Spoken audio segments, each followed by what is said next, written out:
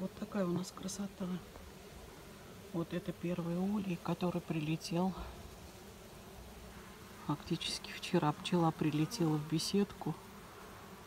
Вечером поставили улей. И они перебрались сюда.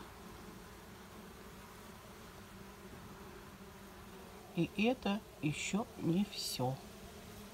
Вроде в беседке стало меньше пчел. Но сегодня утром мы поставили еще один улей.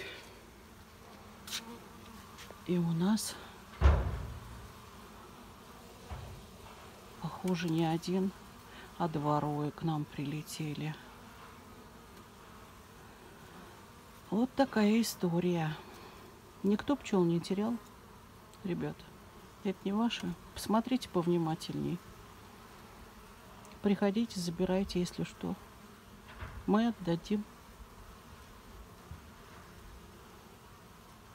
Вот такая история.